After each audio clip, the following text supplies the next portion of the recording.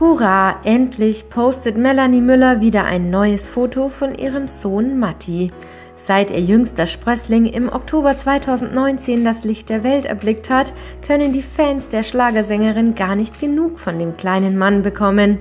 Jetzt teilt die 31-Jährige wieder ein gemeinsames Selfie aus Österreich. Dick eingepackt und mit niedlicher Bommelmütze kuschelt sich Matti an die Schulter seiner berühmten Mutter. Was für ein zuckersüßer Anblick! Der Kleine ist innerhalb der letzten drei Monate ganz schön groß geworden. Immer mehr erinnert er an seine ältere Schwester Mia Rose. Im September 2017 besiegelt sie die Liebe der Ex-Bachelor-Kandidatin und ihres Ehemanns Mike Blümer. Knapp zwei Jahre später kommt Sohn Matti zur Welt und das Familienglück ist perfekt. Die Freude steht Mama Melanie ins Gesicht geschrieben.